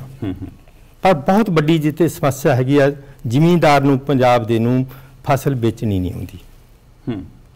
ਉਹ ਤਾਂ ਉਹਦੇ ਜ- ਜ਼ਬਾਨ ਤੇ ਇਹ ਚੜਿਆ ਕਿ ਅਸੀਂ ਫਸਲ ਮੰਡੀ 'ਚ ਸਿੱਟ ਕੇ ਆਉਨੇ ਆ ਹੂੰ ਬਿਲਕੁਲ ਜੀ। ਮੈਂ ਕਣਕ ਸਿੱਟ ਕੇ ਆਇਆ। ਮੈਂ ਝੋਨਾ ਸਿੱਟ ਕੇ ਆਇਆ। ਦੇਖੋ ਹੈ ਨਾ। ਇਹਦਾ ਮਤਲਬ ਨਾ ਹੀ ਤਾਂ ਉਹਨੂੰ ਸਿਖਾਇਆ ਗਿਆ ਵੇਚਣਾ ਤੇ ਨਾ ਹੀ ਸਮੇਂ ਦੀਆਂ ਸਰਕਾਰਾਂ ਨੇ ਉਹਦੀ ਕੋਈ ਤਸੱਲੀ ਬਖਸ਼ ਜਿਹੜਾ ਕੋਈ ਉਹਨੂੰ ਵੇਚਣ ਵਾਸਤੇ ਕੋਈ ਮਾਰਕੀਟਿੰਗ ਦਾ ਪ੍ਰਬੰਧ ਨਹੀਂ ਕੀਤਾ। ਜਿਸ ਕਰਕੇ ਮਾਰ ਖਾਦਾ ਪ੍ਰੋਡਕਸ਼ਨ ਜਿੱਥੋਂ ਜਿੱਥੋਂ ਤੱਕ ਜੇ ਆਪਾਂ ਕੱਲੀ ਕੱਲੀ ਫਸਲ ਦਾ ਵੀ ਲੈ ਲਈਏ ਜੀ ਜੀ। ਪਹਿਲਾਂ ਪਹਿਲਾਂ ਜੇ ਆਪਾਂ ਹਾਰਟੀਕਲਚਰ ਦਾ ਲੈ ਲਈਏ ਬਾਗਬਾਨੀ ਵਿੱਚ ਅੰਗੂਰ ਹੋਇਆ। ਜੀ ਬਿਲਕੁਲ। ਮੇਰੇ ਇਹ ਬਿਲਕੁਲ ਜਿਵੇਂ ਕਹਿੰਦੇ ਆ ਹੱਥੀ ਹੰਡਾਉਣ ਵਾਲੀ ਗੱਲ ਆ। ਕਿ ਤਲਵੰਡੀ ਸਾਬੋ ਦਾ ਬਠਿੰਡੇ ਦਾ ਇਲਾਕਾ ਉਸ ਤਰ੍ਹਾਂ ਲੱਗਦਾ ਸੀ ਜੇ ਉੱਥੇ ਜਾਵੇ ਜੇ ਤੁਸੀਂ ਕੈਲੀਫੋਰਨੀਆ ਦੇ ਬਾਗਾਂ 'ਚ ਫਿਰਦੇ ਹੋ। ਅੱਛਾ ਜੀ। ਹਜ਼ਾਰ ਇੱਕ ਜ਼ਿਮੀਂਦਾਰ 2 ਏਕੜ ਤੋਂ ਲੈ ਕੇ 200 ਏਕੜ ਤੱਕ ਇੱਕ ਜ਼ਿਮੀਂਦਾਰ ਕੋਲੇ ਸੀਗਾ। ਹਾਂਜੀ 10000 ਏਕੜ ਤੱਕ ਟੋਟਲ ਰਕਬਾ ਸੀ। ਤੁਹਾਨੂੰ ਇਹ ਲੱਗਦਾ ਬਹੁਤ ਵਧੀਆ ਅੰਗੂਰ ਸੀਗਾ। ਸਮੱਸਿਆ ਕਿੱਥੇ ਆ ਗਈ? ਬਹੁਤ ਪ੍ਰੋਡਕਸ਼ਨ ਹੋ ਜਾਣੀ। ਵਿਕਨ ਕਰਨੀ ਉਹ ਉਹ ਨਹੀਂ ਸੀ ਕੋਈ। ਹਾਂਜੀ। ਕਿੱਥੇ ਵੇਚੂਗਾ? ਕਿਤੇ ਕਿਤੇ ਵੇਚੂਗਾ। ਕਿਸੇ ਵੀ ਗਵਰਨਮੈਂਟ ਉਹ ਤੋਂ ਉਸ ਸਮੇਂ ਗਵਰਨਮੈਂਟ ਕੋਈ ਪ੍ਰਬੰਧ ਨਹੀਂ ਹੋਇਆ। ਅਖੀਰ ਤੇ ਜਾਣੀ ਸਾਰੇ ਦੇ ਸਾਰਾ ਜਿਹੜਾ ਰਕਬਾ 1 ਸਾਲ 2 ਸਾਲ 4 ਸਾਲ 5 ਸਾਲ ਉਡੀਕ ਕੇ ਜ਼ਿਮੀਦਾਰ ਨੇ ਸਾਰਾ ਨੇ ਪਟਤਾ। ਅੱਜ ਜੇ ਉਸ ਇਲਾਕੇ ਦੇ ਵਿੱਚ ਕਿਸੇ ਜ਼ਿਮੀਦਾਰ ਨੂੰ ਕਹੇ ਜਾ ਰਿਹਾ ਅੰਗੂਰਾਂ ਦੀ ਇੱਕ ਹੀ ਬੇਲ ਲੈ ਲਾ ਤਾਂ ਉਸੇ ਤੇ ਉਹ ਨਫ਼ਰਤ ਫੇਰ ਕਰੂ ਮੈਂ ਅੰਗੂਰ ਨਹੀਂ ਲਾਉਣਾ। ਇਹੀ ਚੀਜ਼ ਜਿਹੜੀ ਹੋਗੀ ਸੂਰਜਮੁਖੀ ਨਾਲ ਹੋਈ ਸੀ। ਤੀਜੀ ਫਸਲ ਦੇ ਤੌਰ ਤੇ ਬਹੁਤ ਵੱਡੇ ਪੱਧਰ ਤੇ ਬਹੁਤ ਅੱਛਾ ਵੈਰਾਈਟੀ ਤੇ ਬਹੁਤ ਅੱਛਾ ਝਾੜ ਲੈਂਦੇ ਰਹੇ। ਸਮੱਸਿਆ ਕਿੱਥੇ ਆ ਗਈ? ਮਾਰਕੀਟਿੰਗ ਤੇ। ਗੰਨਾ ਆਇਆ ਸਹਿਕ ਫਸਲਾਂ ਦੇ। ਗੰਨਾ ਲੋਕਾਂ ਨੇ ਬੜੀ ਚਾਹ ਨਾਲ ਬਹੁਤ ਵਧੀਆ ਬੀਜਿਆ। ਗਵਰਨਮੈਂਟ ਨੇ ਕੋਆਪਰੇਟਿਵ ਬੈਂਕਾਂ ਸੌਰੀ ਕਾਰਪੋਰੇਟ ਸੈਕਟਰ ਦੇ ਵਿੱਚ ਗੰਨ ਗੰਨਾ ਮਿੱਲਾਂ ਖੋਲੀਆਂ ਗਈਆਂ। ਜੀ ਜੀ। 10 12 ਗੰਨਾ ਗੰਨਾ ਮਿੱਲਾਂ ਚੱਲ ਚੱਲੀਆਂ ਨਹੀਂ ਸੀ। ਚੱਲ ਪਿਆ ਲੋਕਾਂ ਨੂੰ ਟਾਰਗੇਟ ਦੇ ਕੇ ਲੋਕਾਂ ਦੇ ਗੰਨਾ ਬਜਾ ਦਿੱਤਾ ਗਿਆ। ਬਹੁਤ ਵਧੀਆ ਗੰਨਾ ਹੋਇਆ। ਅਸੀਂ ਵੀ ਆਪਣੇ ਘਰੇ ਬੀਜਿਆ ਸੀ। ਅੱਛਾ ਪਰ ਜਦੋਂ ਗੰਨਾ ਤਿਆਰ ਹੋ ਗਿਆ। ਮਿਲ ਤਿਆਰ ਨਹੀਂ ਹੋਈ। ਖੰਡ ਮਿਲਾਂ ਤਿਆਰ ਨਹੀਂ ਹੋਈਆਂ। ਓ ਮਾਈ ਗॉड ਕੀ ਕਰੂ? ਘਰੇ ਅਸੀਂ ਘਲਾੜੀਆਂ ਲਾ ਕੇ ਮੈਨੂੰ ਯਾਦ ਹੈ ਕਿ ਅਸੀਂ ਘਰੇ ਪਿੰਡਾਂ ਦੇ ਘਲਾੜੀਆਂ ਲਾ ਕੇ ਗੁੜ ਬਣਾਇਆ ਗੁੜ ਨਾ ਕੋਈ ਲਵੇ। ਇਸ ਤਰ੍ਹਾਂ ਦਾ ਮਾਹੌਲ ਜਿਹੜਾ ਉਹ ਪੈਦਾ ਹੋਇਆ। ਅਗਲੇ ਸਾਲ ਮਿੱਲਾਂ ਤਿਆਰ ਹੋ ਗਈਆਂ ਲੋਕਾਂ ਨੇ ਗੰਨਾ ਨਹੀਂ ਲਾਇਆ ਕਿਉਂਕਿ ਪਹਿਲਾਂ ਵਿਕਿਆ ਨਹੀਂ ਸੀ। ਫਿਰ ਮਿੱਲਾਂ ਵੀ ਫੇਲ ਹੋ ਗਈਆਂ ਖਾਲੀ ਪਈਆਂ ਰਹੀਆਂ। ਉਹ ਮਾਨਸਾ, ਸਾਲ ਨੂੰ ਕੋਟ, ਗੰਨਾ ਹੈ ਪੂਰਾ ਨਹੀਂ ਸੀ। ਪਹਿਲੇ ਸਾਲ ਮਿਲਣਾ ਹੈ ਨਹੀਂ ਸੀ। ਦੋਨਾਂ ਦਾ ਆਪ ਦੀ ਮੇਲ ਹੀ ਨਹੀਂ ਬਣਿਆ। ਕੰਬੀਨੇਸ਼ਨ ਨਹੀਂ ਬਣਿਆ। ਗੰਨੇ ਤੋਂ ਜ਼ਿਮੀਦਾਰ ਜਿਹੜੇ ਹੱਥੋਂ ਬੈਠੇ ਹੁਣ ਜ਼ਿਮੀਂਦਾਰ ਤੇ ਦੋਸ਼ ਲੱਗਦੇ ਆ ਜੀ ਕਹਿੰਦੇ ਇਹਨੇ ਖਰਚੇ ਕਰ ਲੈਂਦਾ ਬਹੁਤ ਜ਼ਿਆਦੇ। ਖਰਚੇ ਕਰਕੇ ਫਿਰ ਖੁਦਕਸ਼ੀਆਂ ਕਰਦਾ। ਇਹਨੂੰ ਸਰਕਾਰਾਂ ਵੀ ਕੀ ਕਰਨ? ਜੇ ਇਹਨੇ ਕੁੜੀ ਦੇ ਵਿਆਹ ਤੇ ਮੁੰਡੇ ਦੇ ਵਿਆਹ ਤੇ ਲੱਖਾਂ ਰੁਪਇਆ ਖਰਚਤਾ। ਜ਼ਿਮੀਂਦਾਰ ਨੂੰ ਕਿਵੇਂ ਦੇਖਦੇ ਹਾਂ ਦੇਖੋ ਜੀ ਇੱਕ ਇਹ ਠੀਕ ਹੈ ਕਿ ਜ਼ਿਮੀਂਦਾਰ ਨੂੰ ਵਿਆਹਾਂ ਵਿਆਹ ਕਰਨ ਵੇਲੇ ਜਾਂ ਜੋ ਹੋਰ ਵੀ ਸਮਾਜਿਕ। ਰੀਤ ਰਿਵਾਜਾਂ ਜਾਂ ਘਰ ਪਾਉਣੇ ਆ ਸੰਜਮ ਕਰਨਾ ਚਾਹੀਦਾ। ਪਰ ਜੇ ਆਪਾਂ ਦੂਜੇ ਪਾਸੇ ਦੇਖੀਏ ਕਿਉਂਕਿ ਉਹ ਵੀ ਇੱਕ ਸਮਾਜਿਕ ਪ੍ਰਾਣੀ ਆ। ਉਹ ਵੀ ਆਪਣੇ ਸਮਾਜ ਦੇ ਵਿੱਚ ਰਹਿੰਦਾ। ਔਰ ਵੱਡੀ ਗਿਣਤੀ ਦੇ ਵਿੱਚ ਰਹਿੰਦਾ। ਹੁਣ ਇੱਕ ਪਾਸੇ ਉਹ- ਕਿਉਂਕਿ ਉਹ ਦੂਜਿਆਂ ਦੇ ਵਿਆਹ ਵੀ ਤਾਂ ਦੇਖਦਾ ਨਾ ਇੱਕ ਜਿਹੜੇ ਮੁਲਾਜ਼ਮ ਆ ਸਰਕਾਰੀ ਮੁਲਾਜ਼ਮ ਹੈਗੇ ਜਾਂ ਪ੍ਰਾਈਵੇਟ ਮੁਲਾਜ਼ਮ ਹੈਗੇ ਆ ਜਾਂ ਜਾਂ ਇੱਕ ਦੁਕਾਨਦਾਰ ਹੈਗੇ ਆ ਉਹ ਜਦੋਂ ਮੈਰਿਜ ਪੈਲੇਸ ਦੇ ਵਿੱਚ ਵਿਆਹ ਕਰਦੇ ਆ ਆਪਦੇ ਬੱਚਿਆਂ ਦੇ ਚਾਅ ਪੂਰੇ ਕਰਦੇ ਆ ਉਹ ਉਹ ਕਹਿੰਦਾ ਇੱਕ ਦੁਕਾਨਦਾਰ ਆ ਜਿਹੜਾ 10 ਬਾਈ 10 ਫੁੱਟ ਦੀ ਦੁਕਾਨ ਕਰ ਰਿਹਾ। ਉਹ ਆਪਦੇ ਬੱਚੇ ਦੇ ਚਾਅ ਇਸ ਤਰ੍ਹਾਂ ਪੂਰੇ ਕਰ ਰਿਹਾ ਤੇ ਮੈਂ ਕਿਉਂ ਨਾ ਕਰਾਂ? ਉਹਦੇ ਵੀ ਬੱਚੇ ਆ। ਉਹ ਵੀ ਕਹਿੰਦੇ ਆ ਕਿ ਅਸੀਂ ਵੀ ਪੂਰੇ ਕਰੀਏ। ਹਾਂ ਉਹਦੀਆਂ ਵੀ ਖੁਸ਼ੀਆਂ ਨਾ ਉਹਦੇ ਆਪਦੇ ਖੁਸ਼ੀਆਂ ਕਿਉਂ ਨਾ ਪੂਰੀਆਂ ਕਰੇ? ਨਾਲੇ ਸੋਚਦਾ ਮੈਂ ਲੈਂਡਲਾਰਡ ਆ। ਹਾਂ ਉਹ ਕਹਿੰਦਾ ਵੀ ਮੈਂ ਮੈਂ ਤਾਂ ਇੰਨੀ ਮੈਂ ਮੈਂ 10 ਕਿੱਲਿਆਂ ਦਾ 20 ਏਕੜ ਦਾ ਮਾਲਕ ਆ ਮੇਰੇ ਕੋਲ ਮੈਂ ਤਾਂ 10 ਕਰੋੜ ਦਾ ਮਾਲਕ ਆ। ਵੀ ਮੈਂ ਕਿਉਂ ਨਾ ਪੂਰੇ ਕਰਾਂ? ਉਸ ਕਰਕੇ ਉਹਨੂੰ ਵੀ ਸਮਾਜ ਦੇ ਵਿੱਚ ਆਪਾਂ ਸਿਰਫ ਉਸੇ ਨੂੰ ਹੀ ਬਲੇਮ ਨਹੀਂ ਕਰ ਦੇਣਾ ਚਾਹੀਦਾ। ਹਾਂ ਹਾਂ ਪਰ ਉਹ ਮਿਹਨਤ ਨਹੀਂ ਕਰ ਰਿਹਾ। ਮਿਹਨਤ ਵੀ ਉਹਦੀ ਬਹੁਤ ਆ। ਇੰਨੀ ਮਿਹਨਤ ਕੋਈ ਨਹੀਂ ਕਰ ਸਕਦਾ ਜੋ ਜੋ ਕਿਸਾਨ ਜੇ ਪਹਿਲਾਂ ਹੱਥੀ ਕੀਤੀ ਸੀ ਤਾਂ ਪੰਜਾਬ ਦਾ ਕਿਸਾਨ ਮੂਰੇ ਸੀ ਜੇ ਹੁਣ ਮਸ਼ੀਨਰੀ ਨਾਲ ਕਰਿਆ ਤਾਂ ਵੀ ਮੂਰੀ ਆ ਮੂਰੂ ਆ। ਪਰ ਫਿਰ ਵੀ ਦੇਖੋ ਕਿਉਂ ਨਾ ਉਹ ਆਪਦੇ ਆਪਦੇ ਬਾਕੀ ਕਰੇ। ਪਰ ਇਹਦੇ ਵਾਸਤੇ ਉਹ ਗਵਰਨਮੈਂਟਾਂ ਨੂੰ ਸੋਚਣਾ ਚਾਹੀਦਾ ਕਿ ਉਹਦੀ ਉਹਨੂੰ ਭਾਅ ਠੀਕ ਦੇਵੇ। ਬਿਲਕੁਲ ਜੀ। ਹੈ ਜੀ? ਭਾਅ ਠੀਕ ਕਰੇ ਉਹਦੀ ਉਹਦੀ ਬਾਕੀ ਚੀਜ਼ਾਂ ਦੀ ਮਾਰਕੀਟਿੰਗ ਸਹੀ ਤਰੀਕੇ ਨਾਲ। ਠੀਕ ਕਰਾਵੇ ਕੋਈ ਨਾ ਕੋਈ ਹਾਂਜੀ ਸਮਾਂ ਹੋ ਗਿਆ ਜੀ ਬ੍ਰੇਕ ਦਾ ਬ੍ਰੇਕ ਤੋਂ ਬਾਅਦ ਵਾਪਸ ਆਉਣੇ ਆ ਇਸ ਗੱਲਬਾਤ ਨੂੰ ਅੱਗੇ ਚਲਾਵਾਂਗੇ ਕਿ ਕਿਸਾਨ ਨੂੰ ਆਮ ਤੌਰ ਤੇ ਸਰਕਾਰਾਂ ਬਲੇਮ ਕਰਦੀਆਂ ਨੇ ਕਿ ਆਪਦੇ ਲੱਛਣਾਂ ਕਰਕੇ ਆਪਣੀ ਕਰਤੂਤਾਂ ਕਰਕੇ ਫੇਲ ਆ। ਪਰ ਡਾਕਟਰ ਸਾਹਿਬ ਨੇ ਨਵੀਂ ਗੱਲ ਦੱਸੀ ਆ ਕਿ ਉਹ ਸਮਾਜਿਕ ਪ੍ਰਾਣੀ ਆ ਉਹਦੇ ਵੀ ਚਾਲ ਆੜ ਹੈਗੇ ਆ। ਛੋਟੀ ਜਿਹੀ ਬ੍ਰੇਕ ਹੁਣੇ ਵਾਪਸੀ। ਬ੍ਰੇਕ ਤੋਂ ਬਾਅਦ ਇੱਕ ਵਾਰ ਫਿਰ ਆਪ ਜੀ ਸਵਾਗਤ ਹੈ ਜੀ। ਮੇਰੇ ਨਾਲ ਡਾਕਟਰ ਚਮਕੌਰ ਸਿੰਘ ਢਾਲੀਵਾਲ ਅੱਜ ਸਾਡੇ ਸਟੂਡੀਓ ਦੇ ਵਿੱਚ ਨੇ। ਡਾਕਟਰ ਸਾਹਿਬ ਤੁਸੀਂ ਕਿਸਾਨੀ ਦੀ ਗੱਲ ਕਰਦੇ ਸੀ ਕਿ ਕਿਸਾਨਾਂ ਦੇ ਆਪਣੇ ਚਾਲ ਆੜ ਨੇ। ਹਾਂਜੀ। ਹੁਣ ਸਾਡੇ ਪਿੰਡ ਦਾ ਉਨਾ ਹੀ ਰਕਬਾ ਜੀ। ਉਹਦੇ ਵਿੱਚ ਸੈਂਕੜਿਆਂ ਦੀ ਗਿਣਤੀ ਦੇ ਵਿੱਚ ਟਿਊਬਵੈੱਲ ਲੱਗੇ ਸਮਰਸੀਬਲ ਮੋਟਰਾਂ ਲੱਗੀਆਂ। ਹਰ ਘਰ ਟਰੈਕਟਰ 59 11 ਵੱਡੇ ਵੱਡੇ ਟਰੈਕਟਰ ਖੜੇ ਨੇ। ਜ਼ਮੀਨ ਅੱਗੇ ਨਾਲੋਂ ਘਟੀ ਹੋਈ ਆ। ਕੀ ਕਿਸਾਨ ਕਿਤੇ ਜਿਹਨੂੰ ਅਸੀਂ ਪੰਜਾਬੀ ਕਹੇ ਫੁਕਰ ਬਣੇ ਚ ਇਸ ਦੀਆਂ ਚੀਜ਼ਾਂ ਤਾਂ ਨਹੀਂ ਇਕੱਠੀਆਂ ਕਰੀ ਜਾਂਦੇ ਜਿਹਦੀ ਉਹਨੂੰ ਬੇਸਿਕਲੀ ਲੋੜ ਹੀ ਹੈ ਨਹੀਂ। ਸਮਰਾ ਸਾਹਿਬ ਤੁਹਾਡੀ ਗੱਲ ਬਿਲਕੁਲ ਠੀਕ ਹੈ। ਜਿੰਨਾ ਰਕਬਾ ਹੈ ਹਾਂਜੀ। ਪੰਜਾਬ ਦੇ ਵਿੱਚ ਜੀ। ਉਸ ਨਾਲੋਂ ਅੱਧੇ ਤੋਂ ਵੀ ਘੱਟ ਮਸ਼ੀਨਰੀ ਦੀ ਲੋੜ ਆ। ਹੂੰ ਹੂੰ। ਅੱਛਾ ਉਹ- ਪਰ ਫਿਰ ਵੀ ਕਿਉਂਕਿ ਆਮ ਤੌਰ ਤੇ ਵੀ ਆਪਾਂ ਕਹਿੰਦੇ ਕਿ ਉਹ ਇਹ ਹੈ ਵੀ ਆਪਣੇ ਇਸ ਸਮੱਸਿਆ ਦੇ ਵਿੱਚ ਕੁਝ ਗਵਰਨਮੈਂਟ ਨੇ ਵੀ ਉਪਰਾਲੇ ਵੀ ਕੀਤੇ ਸੀ ਕੋਆਪਰੇਟਿਵ ਮਹਿਕਮੇ ਨੇ ਉਪਰਾਲੇ ਕੀਤੇ ਸੀ ਕੁਝ ਕੋਆਪਰੇਟਿਵ ਬੇਸਿਸ ਤੇ ਜਿਹੜੀਆਂ ਸਾਰੇ ਇੰਪਲੀਮੈਂਟ ਵੀ ਇੱਕ ਥਾਂ ਤੇ ਸਾਂਝੇ ਸੰਦ ਹੋਣ ਉਥੋਂ ਹੁਣ ਜਿਹੜੇ ਕਿਸਾਨ ਭਰਾ ਕੁਝ ਪੰਜ ਸੱਤ ਪਿੰਡਾਂ ਦੇ ਇਕੱਠੇ ਹੋ ਕੇ ਉਥੋਂ ਕਿਰਾਏ ਤੇ ਲੈ ਜਾਣ ਤੇ ਉਥੋਂ ਪਰ ਉਹ ਇਹ ਮਾਡਲ ਅਜੇ ਪੰਜਾਬ ਦੇ ਵਿੱਚ ਕੋਈ ਬਹੁਤਾ ਕਾਮਯਾਬ। ਨਹੀਂ ਹੋਇਆ। ਇੱਕ ਜਿਨ ਲੋੜ ਤੋਂ ਜ਼ਿਆਦਾ ਜ਼ਿਮੀਂਦਾਰਾਂ ਨੇ ਟਰੈਕਟਰ ਲੈ ਲਏ ਮਸ਼ੀਨਰੀ ਤੇ ਬਹੁਤ ਵੱਡਾ ਪੈਸਾ ਲੱਗਿਆ ਪਿਆ। ਉਹੀ ਗੱਲ ਜੋ ਮੈਂ ਪਹਿਲਾਂ ਕੀਤੀ ਸੀ ਕਿ ਕਿ ਕਿਸਾਨਾਂ ਨੂੰ ਉਹਦਾ ਉਹਨਾਂ ਫਾਇਦਾ ਨਹੀਂ ਹੋਇਆ ਕਿਸਾਨ ਤਾਂ ਕਰਜ਼ੇ ਥੱਲੇ ਆ ਗਿਆ। ਕਿਸਾਨ ਕਰਜ਼ੇ ਥੱਲੇ ਆ ਗਿਆ ਫਾਇਦਾ ਕਿਹਨੂੰ ਹੋ ਗਿਆ? ਕਾਰਪੋਰੇਸ਼ਨ। ਜੀ ਬਿਲਕੁਲ। ਜੋ ਜਿਨ੍ਹਾਂ ਨੇ ਮਸ਼ੀਨਰੀ ਵਾਲਿਆਂ ਨੂੰ ਫਾਇਦਾ ਹੋ ਗਿਆ। ਉਹਦੇ ਵਾਸਤੇ ਕੁਝ ਬੈਂਕਾਂ ਵਗੈਰਾ ਵੀ ਜਦ ਉਹ ਵੀ ਉਹ ਵੀ ਜ਼ਿੰਮੇਵਾਰ ਹੈਗੀਆਂ। ਉੱਥੇ ਕਿਸੇ ਵੇਲੇ ਇਹ ਸੀਗਾ ਕਿ 15 ਏਕੜ ਵਾਲਾ ਟਰੈਕਟਰ ਲੈ ਸਕਦਾ। ਜਾਂ 10 ਏਕੜ ਵਾਲਾ ਲੈ ਸਕਦਾ। ਉਹ ਅੱਜ ਬੈਂਕਾਂ ਨੇ 2 ਏਕੜ ਵਾਲਾ ਨੂੰ ਵੀ ਤੋੜਤੇ ਲੈ ਜਾਓ ਜੀ ਕੋਈ ਗੱਲ ਨਹੀਂ। ਜਦੋਂ ਆਸਾਨੀ ਨਾਲ ਮਿਲ ਰਿਹਾ ਉਹ 2 ਏਕੜ ਵਾਲਾ ਵੀ ਨੇ ਵੀ ਲਿਆ ਕੇ ਟਰੈਕਟਰ ਖੜਾ ਰਿਹਾ। ਇਹ ਵੀ ਇੱਕ ਜਿਹੜਾ ਸਿਸਟਮ ਦੇ ਵਿੱਚ ਜਿਹੜਾ ਹੈਗਾ ਇੱਕ ਦੋਸ਼ੀ ਸੀ। ਇਹ ਬਹੁਤ ਵੱਡਾ ਜਿਹੜਾ ਬਹੁਤ ਪੈਸਾ ਹੈਗਾ ਜਿਹਦਾ ਬਹੁਤ ਵੱਡੇ ਪੱਧਰ ਤੇ ਕਿਸਾਨ ਜਿਹੜਾ ਉਹ ਕਰਜ਼ਾ ਜਾਂ ਵਿਆਜ ਦੇ ਰਿਹਾ ਜਿਹੜਾ ਕਿ ਉੱਤਰ ਨਹੀਂ ਰਿਹਾ। ਤੇ ਇਹੀ ਕਈ ਵਾਰੀ ਖੁਦਕਸ਼ੀਆਂ ਦਾ ਕਾਰਨ ਵੀ ਬਣਿਆ ਪਿਆ ਹੈਗਾ। ਹੁਣ ਥੋੜਾ ਕਿਸਾਨਾਂ ਨਾਲ ਬਾਹ ਪਿਆ ਜੀ। ਇੱਕ ਤਾਂ ਥੋੜਾ ਸਾਨੂੰ ਯੂਨੀਵਰਸਿਟੀ ਦੇ ਸਟਰਕਚਰ ਬਾਰੇ ਕੇਪੀਏਯੂ ਦੇ ਵਿੱਚ ਸਟਰਕਚਰ ਕੀ ਆ? ਜਿਹੜੇ ਉੱਥੇ ਰਿਸਰਚ ਦੇ ਵਿਦਿਆਰਥੀ ਨੇ ਉਹ ਰਿਸਰਚ ਕਿਵੇਂ ਕਰਦੇ ਆ? ਥੋੜਾ ਕਿਸਾਨਾਂ ਨਾਲ ਕਿਹੋ ਜਿਹਾ ਵਾ ਸੀ? ਕਿਸਾਨ ਤੁਹਾਡੀ ਗੱਲ ਨੂੰ ਕਿੰਨਾ ਕੁ ਮੰਨ ਲੈਂਦੇ ਸੀ? ਕਿਸਾਨ ਦੇ ਵਿੱਚ ਐਜੂਕੇਸ਼ਨ ਜਾਂ ਉਹਨਾਂ ਦੀ ਨਵੀਆਂ ਗੱਲਾਂ ਲਈ ਹੈਗਾ ਉਹਨਾਂ ਦੇ ਵਿੱਚ ਚਾਹ ਕੁਝ ਕਰਨ ਦਾ? ਦੇਖੋ ਜੀ ਜਿੱਥੋਂ ਤੱਕ ਯੂਨੀਵਰਸਿਟੀ ਦਾ ਖੇਤੀਬਾੜੀ ਯੂਨੀਵਰਸਿਟੀ ਦਾ ਤੁਸੀਂ ਕੀਤਾ ਇਹ 1962 ਦੇ ਵਿੱਚ ਹੋਣ। ਦੇ ਵਿੱਚ ਆਈ ਸੀ। ਇਹ ਇੱਕ ਬੜੀ ਅਮਰੀਕਨ ਸਿਸਟਮ ਤੇ ਇਹ ਪਹਿਲੀ ਯੂਨੀਵਰਸਿਟੀ ਸੀ ਜਿਹੜੀ ਬੜਾ ਯੂਨੀਕ ਸੀ। ਤੇ ਇਹਦੇ ਵਿੱਚ ਆਲਮੋਸਟ ਇਹ ਜੇ ਕਹਿ ਲਓ ਕਿ ਜਿੰਨੇ ਕੁ ਸਟੂਡੈਂਟ ਸੀਗੇ ਉਹਨੇ ਟੀਚਰ ਸੀ। ਅੱਛਾ ਜੀ। ਹਾਂਜੀ। ਹਾਂ ਹਾਂਜੀ। 1 ਬਾਈ 1 ਵਰਗੀ ਗੱਲ ਹੀ ਸੀਗੀ ਕਿ ਬਹੁਤ ਕਿਉਂਕਿ 24 2500 ਸਟੂਡੈਂਟ ਸਟੂਡੈਂਟ ਸੀਗਾ ਤਕਰੀਬਨ 14 1500 ਸਾਡੇ ਟੀਚਰ ਸੀਗੇ ਟੋਟਲ। ਜਦੋਂ ਜਿਹੜੀ ਮੈਂ। ਪੜ੍ਹ ਰਿਹਾ ਸੀਗਾ। ਹਾਂ ਉੱਥੇ ਉਹ ਜਿਹੜੀ ਟ੍ਰੇਨਿੰਗ ਜਿਹੜੀ ਹੈਗੀ ਸਾਨੂੰ ਬਿਲਕੁਲ ਕਿਸਾਨੀ ਦੇ ਤੌਰ ਤੇ ਦਿੱਤੀ ਜਾਂਦੀ ਸੀ। ਈਵਨ ਸਾਨੂੰ ਤਾਂ ਅਖੀਰਲੇ ਸਾਲ ਦੇ ਵਿੱਚ ਅਰਨ ਵਾਈਲ ਯੂ ਲਰਨ ਨਾ ਦਾ ਵੀ ਕੁਝ ਏਰੀਆ ਅਲਾਟ ਕਰ ਦਿੰਦੇ ਆ। ਅੱਛਾ ਤੇ ਉਹਦੇ ਵਿੱਚ ਵੀ ਤੁਸੀਂ ਆਪ ਹੀ ਖੇਤੀ ਕਰੋ। ਅੱਛਾ ਆਪ ਹੀ ਤੁਸੀਂ ਜੋ ਮਰਜ਼ੀ ਫਸਲ ਬੀਜੋ। ਜੇ ਨੁਕਸਾਨ ਹੋਇਆ ਉਹ ਯੂਨੀਵਰਸਿਟੀ ਦਾ ਤੇ ਜੇ ਪ੍ਰੋਫਿਟ ਹੋ ਗਿਆ ਉਹ ਤੁਹਾਡਾ। ਅੱਛਾ ਸਟੂਡੈਂਟ ਹਰ ਹਰ ਸਿਨਿਚਰਵਾਰ ਨੂੰ ਸਾਨੂੰ ਪ੍ਰੈਕਟੀਕਲੀ ਹੁੰਦਾ ਸੀ। ਅੱਛਾ ਹਾਂ ਯਾਨੀ ਬਾਕੀ 5 ਦਿਨ ਕਿਤਾਬੀ ਪੜ੍ਹਾਈ 6ਵੇਂ ਦਿਨ ਪ੍ਰੈਕਟੀਕਲ ਟ੍ਰੇਨਿੰਗ ਹੁੰਦੀ ਸੀ ਖੇਤਾਂ ਦੇ ਵਿੱਚ ਜਿਵੇਂ ਆਪਾਂ ਜ਼ਿਮੀਂਦਾਰਾਂ ਦੀ। ਉਸ ਦਾ ਕੋਈ ਸਮੱਸਿਆ ਫਿਰ ਯੂਨੀਵਰਸਿਟੀ ਦੇ ਤਿੰਨ ਹੈਗੇ ਸੈੱਲ। ਅੱਛਾ ਸਾਰੇ ਕੱਲੀ ਪੜ੍ਹਾਈ ਨਹੀਂ ਪੜ੍ਹਾਈ ਵੀ ਕਰਾਉਣੀ ਆ। ਬੀਐਸਸੀ ਐਮਐਸਸੀ ਪੀਐਚਡੀ ਤੇ ਛੋਟੇ ਜਿਹੜੇ ਹੈਗੇ ਆ ਟ੍ਰੇਨਿੰਗ ਦੇਣੀਆਂ। ਫਿਰ ਰਿਸਰਚ ਮੇਜਰ ਕੰਮ ਆ। ਖੋਜ ਕਰਨੀ। ਬਿਲਕੁਲ।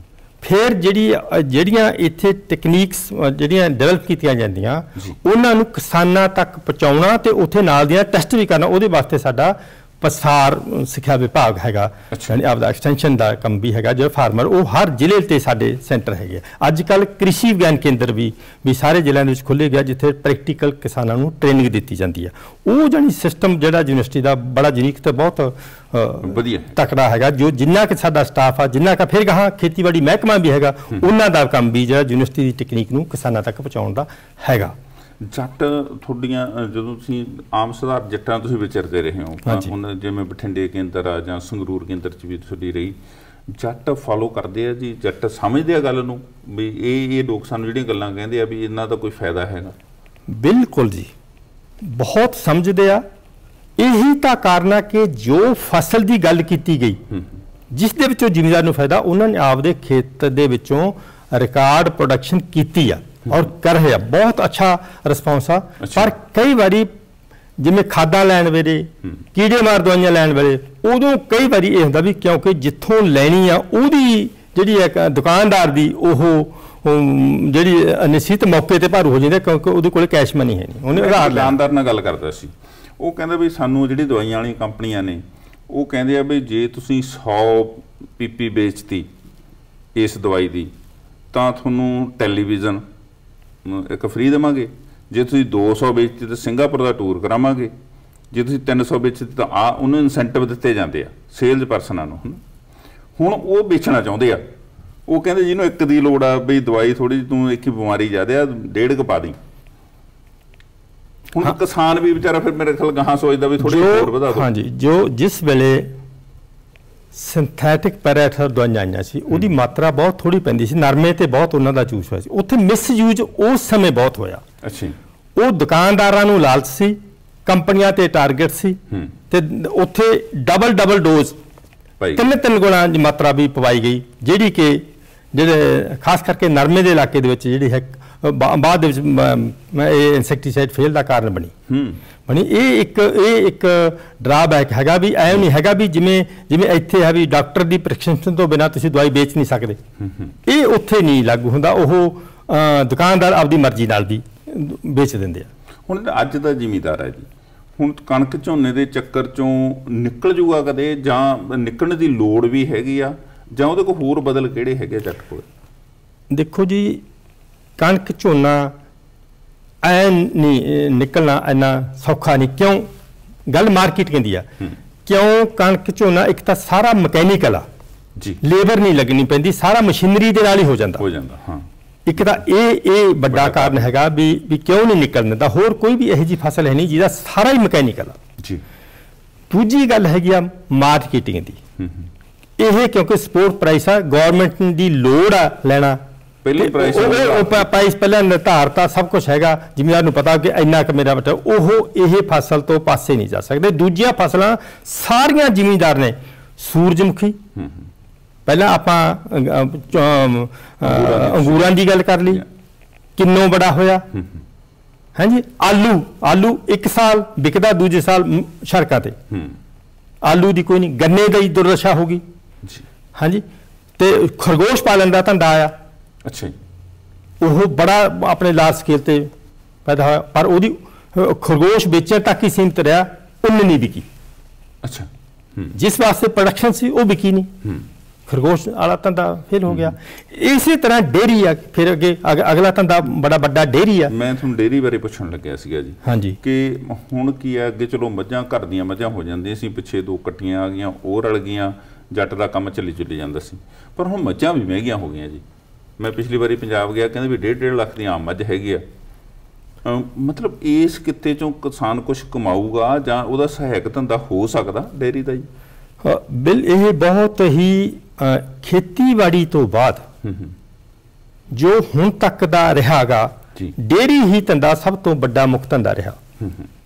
ਉਹਦੇ ਵਿੱਚ ਵੀ ਅੱਜ ਬੜੀਆਂ ਵੱਡੀਆਂ ਸਮੱਸਿਆਵਾਂ ਆ ਗਈਆਂ। ਡੇਰੀ ਵਾਲਾ ਜੇ ਬੰਦੇ ਦੇ 5-7 ਮੱਝਾਂ ਵੀ ਰੱਖੀਆਂ ਹੋਈਆਂ। ਉਹਨਾਂ ਨੂੰ ਇੱਕ ਬੰਦੇ ਦੀ ਲੋੜ ਆ। ਅੱਜ ਦੇ ਰੇਟ ਦੇ ਵਿੱਚ 10000 ਰੁਪਇਆ ਪਰ ਮਹੀਨਾ ਇੱਕ ਬੰਦਾ ਲੇਬਰ ਬਿਹਾਰੀ ਲੇਬਰ ਵਾਲਾ ਬਿਲਕੁਲ ਹਾਂਜੀ। ਉਹਦੇ ਵਾਸਤੇ ਉਹਨਾਂ ਨੂੰ 2 ਏਕੜ ਜ਼ਮੀਨ ਵੀ ਚਾਰੇ ਪੱਠੇ ਵਾਸਤੇ ਚਾਹੀਦੀ ਆ। ਜਿਹਦਾ ਕਿ 55000 ਠੇਕਾ ਗਾ। ਅੱਛਾ। ਦੁੱਧ 35 ਰੁਪਏ ਕਿਲੋ ਆ। ਉਹ ਬਾਰੇ ਨਹੀਂ ਖਾਣਾ। ਉਹ ਬਾਹਰ ਹੀ ਨਹੀਂ ਖਾਂਦਾ ਜੀ। ਅੱਜ ਮੈਂ ਤਾਂ ਇਹ ਦੇਖਿਆ ਕਿ ਮੈਂ ਹੁਣੇ ਪਿੱਛੇ ਜੇ ਆਪਣੇ ਪਿੰਡ ਵੀ ਗਿਆ ਸੀਗਾ। ਇੱਕ ਨਹੀਂ 20 30 ਜ਼ਿਮੀਂਦਾਰ ਉਹ ਵੀ ਜਿਹੜੇ ਘਰੇ 5 5 7 7 ਮੱਝਾਂ ਰੱਖਦੇ ਸੀ ਉਹ ਵੀ ਉਹ ਤੋਂ ਕਿਨਾਰਾ ਕਰ ਰਹੇ ਆ ਵੀ ਇਹ ਤਾਂ ਬਹੁਤ ਮਹਿੰਗਾ ਪੈ ਰਿਹਾ। ਇਹਦੇ ਨਾਲ ਤਾਂ 35 ਰੁਪਏ ਕਿਲੋ ਦੁੱਧ ਲੈਣਾ ਕਿਤੇ ਸੌਖਾ। ਅਸੀਂ ਤਾਂ 4000 ਦਾ ਦੁੱਧ ਲੈ ਲਿਆ ਕਰਾਂਗੇ। ਸਾਡੇ ਆਪਣੇ ਘਰ ਦੇ ਕਹਿੰਦੇ ਵੀ ਹੁਣ ਮੱਝਾਂ ਨਹੀਂ ਰੱਖਣੀਆਂ। ਹਾਲਾਂਕਿ ਸਾਨੂੰ ਮੱਝਾਂ ਰੱਖਣ ਦਾ ਬਹੁਤ ਸ਼ੌਕ ਸੀ। ਅੱਛਾ ਜੀ। ਹੁਣ ਇਹ ਇਸ ਤੇ ਆ ਗਏ ਕਿਉਂਕਿ ਬਹੁਤ ਮਹਿੰਗਾ ਪੈਂਦਾ ਉਹ ਕੰਮ ਜੀ। ਸੋ ਤੁਹਾਡੇ ਖਿਆਲ ਮੁਤਾਬਕ ਕਿਸਾਨ ਤਾਂ ਕੋਸ਼ਿਸ਼ ਕਰਦਾ, ਜਿਹੜੇ ਪਾਸੇ ਯੂਨੀਵਰਸਿਟੀ ਕਹਿੰਦੀ ਆ ਹੁਣ ਜਿਵੇਂ ਇਹਦੇ ਨਾਲ ਹੀ ਆਪਾਂ ਲਈਏ ਕਿ ਖਿਆਲ ਦੀਆਂ ਮੱਖੀਆਂ ਦਾ ਇੱਕ ਯੁੱਗ ਆਇਆ, ਕਿਸਾਨ ਨੇ ਰੱਖ ਲਏ ਬਾਕਸ ਲਿਆ ਕੇ ਆਪਣੇ, ਉਹਦੇ ਵਿੱਚ ਵੀ ਇੱਕ ਪੁਆਇੰਟ ਤੇ ਜਾ ਕੇ ਚੀਜ਼ਾਂ ਫੇਲ ਦੀਆਂ ਹੋ ਜਾਂਦੀਆਂ ਜੀ। ਹਨੀ ਬੀ ਦਾ ਵੀ ਮੇਰਾ ਖਿਆਲ ਆ ਫਿਰ ਮਾਰਕੀਟਿੰਗ ਦਾ ਹੀ ਕੋਈ ਇਸ਼ੂ ਹੋ ਗਿਆ ਹੌਲੀ ਹੌਲੀ ਘਟਣਾ ਸ਼ੁਰੂ ਹੋ ਗਿਆ। ਸੋ ਸਮਾਂ ਹੋ ਗਿਆ ਜੀ ਬ੍ਰੇਕ ਦਾ ਬ੍ਰੇਕ ਤੋਂ ਬਾਅਦ ਵਾਪਸ ਆਉਨੇ ਆ ਸਮਾਂ ਆਪਾਂ ਕਰਾਂਗੇ ਸਾਰੇ ਪ੍ਰੋਗਰਾਮ। ਨਾਲ ਦੀ ਨਾਲ ਕੁਝ ਹੋਰ ਸਵਾਲ ਡਾਕਟਰ ਸਾਹਿਬ ਨੂੰ ਪੁੱਛਾਂਗੇ ਜਿਹੜੇ ਅੱਜ ਦੀ ਕਿਸਾਨੀ ਨਾਲ ਸੰਬੰਧਿਤ ਨੇ ਤੇ ਸਰਕਾਰਾਂ ਦਾ ਕੀ ਰੋਲ ਆ ਉਹਦੀ ਵੀ ਗੱਲਬਾਤ ਕਰਾਂਗੇ। ਬ੍ਰੇਕ ਤੋਂ ਬਾਅਦ ਇੱਕ ਵਾਰ ਫਿਰ ਆਪ ਜੀ ਦਾ ਸਵਾਗਤ ਹੈ ਜੀ। ਗੱਲਬਾਤ ਚੱਲ ਰਹੀ ਆ ਡਾਕਟਰ ਚਮਕੌਰ ਸਿੰਘ ਸਿੱਖ ਅ, ਧਾਲੀਵਾਲ ਉਹਨਾਂ ਨਾਲ। ਡਾਕਟਰ ਸਾਹਿਬ ਜਿੱਥੇ ਮੱਝਾਂ ਦੀ ਗੱਲ ਸੀ ਮੱਝਾਂ ਮਹਿੰਗੀਆਂ ਹੋ ਗਈਆਂ। ਮੱਝ ਬਿਮਾਰ ਹੋ ਜਵੇ ਇੱਕ ਅੱਧਾ ਡੰਗਰ ਜੇ ਵਿੱਚੋਂ ਵਿਛੜ ਜਾਂਦਾ ਸਾਲ 'ਚ ਤਾਂ ਜੱਟ ਨੂੰ 1.5 ਲੱਖ ਦਾ ਘਾਟਾ। ਇੱਕੋ ਵਾਰੀ ਪੈ ਜਾਂਦਾ। ਇੰਨੇ ਮਹਿੰਗੇ ਪਸ਼ੂ ਪਾਲਣੇ ਫਿਰ ਉਹਦੇ ਤੇ ਬੰਦੇ ਰੱਖਣੇ ਲੇਬਰ ਰੱਖਣੀ ਮਹਿੰਗਾ ਕੰਮ ਸੀ। ਪਰ ਨਾਲ ਦੀ ਨਾਲ ਹਨੀ ਬੀ ਦਾ ਇੱਕ ਮੈਨੂੰ ਯਾਦ ਆ, ਉਦੋਂ ਮੈਂ ਪੰਜਾਬ 'ਚ ਸੀ ਕਿ ਬਾਕਸ ਲਿਆ ਕੇ ਖੇਤਾਂ ਦੇ ਵਿੱਚ ਰੱਖੇ ਗਏ ਕਿ ਸ਼ਹਿਦ ਦੀਆਂ ਮੱਖੀਆਂ ਪਾਲੋ। ਹਾਂਜੀ। ਹੁਣ ਸ਼ਹਿਦ ਦੀ ਮੱਖੀ ਦਾ ਬੜਾ ਵਧੀਆ ਕੰਮ ਸੀਗਾ ਕਿ ਉਹ ਉਹਨੂੰ ਨਾ ਪੱਠੇ ਪਾਉਣੇ ਆ ਨਾ ਜ਼ਮੀਨ ਛੱਡਣੀ ਆ ਖਾਲਾਂ ਤੇ ਬੱਟਾਂ ਤੇ ਉਹ ਡੱਬੇ ਰੱਖੇ ਹੋਏ ਸੀਗੇ। ਹਾਂਜੀ। ਤੇ ਉਹਨਾਂ ਨੇ ਸਮਾਂ ਲੱਗਦੀ ਵਾਲਿਆਂ ਦੇ ਖੇਤ ਚੋਂ ਵੀ ਕਹਿੰਦੇ ਲੈ ਆਉਂਦੀਆਂ ਸੀਗੀਆਂ ਰਸ ਚੂਸ ਕੇ। ਤਾਂ ਤੁਹਾਡੇ ਇਨਕਮ ਚ ਵਾਧਾ ਕਰਦੀਆਂ ਸੀ। ਜੇ ਉਹ ਕਿੱਤਾ ਵੀ ਫੇਲ ਹੋ ਗਿਆ ਜੀ ਫਿਰ ਹੁਣ ਕਾਮਯਾਬ ਕੀ ਹੋਊਗਾ ਉੱਥੇ? ਜਿੱਥੋਂ ਤੱਕ ਤੁਸੀਂ ਸਵਾਲ ਕੀਤਾ ਜੀ ਸ਼ਹਿਦ ਦੀਆਂ ਮੱਖੀਆਂ ਬਾਰੇ। ਹਾਂਜੀ। ਇਹ ਵੀ ਇੱਕ ਪਹਿਲੀ ਹੈਗੀ ਆ ਜਦੋਂ ਸ਼ੁਰੂ ਕੀਤਾ ਸੀ ਸਾਡੇ ਖੇਤੀਬਾੜੀ ਯੂਨੀਵਰਸਿਟੀ ਦੇ ਡਾਕਟਰ ਅਟਵਾਲ ਸੀਗੇ। ਅੱਛਾ।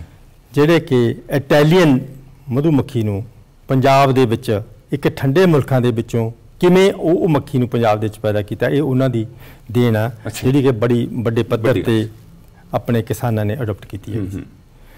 ਤੇ ਬਹੁਤ ਹੀ ਟੈਕਨੀਕਲ ਧੰਦਾ ਗਾ ਅੱਛਾ। ਬਹੁਤ ਟੈਕਨੀਕਲ ਧੰਦਾ। ਮੱਖੀ ਨੂੰ ਹੈਂਡਲ ਕਰਨਾ ਬਹੁਤ ਹੀ ਇੱਕ ਤਕ- ਤਕਨੀਕੀ ਜਾਣਕਾਰੀ ਆ ਅੱਛਾ ਉਹ ਇੰਨੀ ਬਰੀਕੀ ਵਾਲੀ ਜਾਣਕਾਰੀ ਵੀ ਪੰਜਾਬ ਦੇ ਕਿਸਾਨਾਂ ਨੇ ਬਹੁਤ ਵੱਡੇ ਪੱਧਰ ਤੇ ਹਾਸਲ ਕੀਤੀ ਔਰ ਬਹੁਤ ਵੱਡੇ ਪੱਧਰ ਤੇ ਕਾਮਯਾਬੀ ਹੋਇਆ ਅੱਛਾ।